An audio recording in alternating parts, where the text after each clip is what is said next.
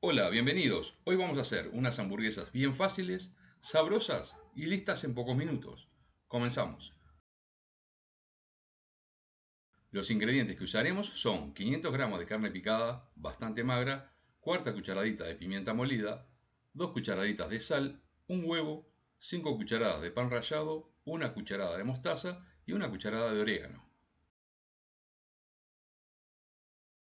Vertemos la carne picada a un bol donde podamos trabajarla con facilidad y la esparcimos o abrimos un poco. Le agregamos la sal, el orégano, el huevo, que antes de agregarlo lo batimos bien, para cuando lo mezclemos con la carne no nos quede la clara por un lado y la yema por otro, y lo vertemos. Añadimos la cuarta cucharadita de pimienta molida y la cucharada de mostaza, que le va a aportar un gran sabor. Son muy sencillas de preparar las hamburguesas y nos van a quedar listas en pocos minutos. Finalizamos agregando el pan rallado, que este, junto con el huevo, nos va a ayudar a que queden bien armadas durante la cocción.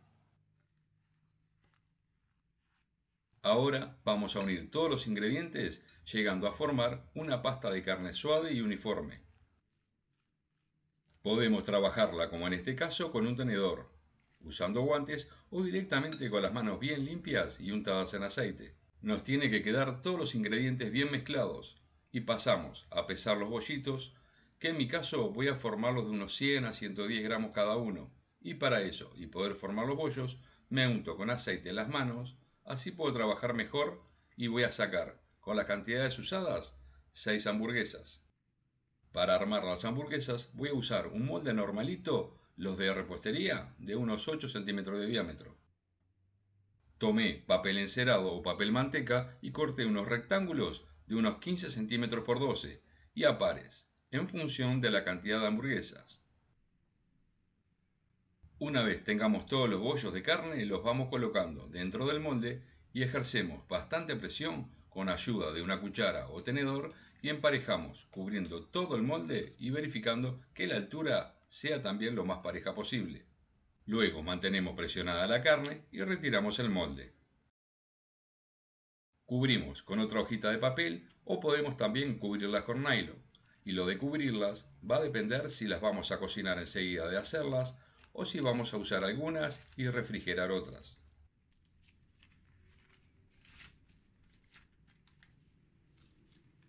Además, el hecho de ponerles papel nos ayuda a poder apilarlas. No hay muchas cantidades, pero sí una encima de la otra.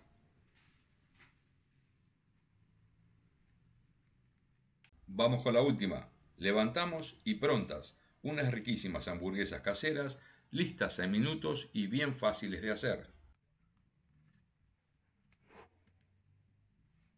Espero que les haya gustado y resultado fácil.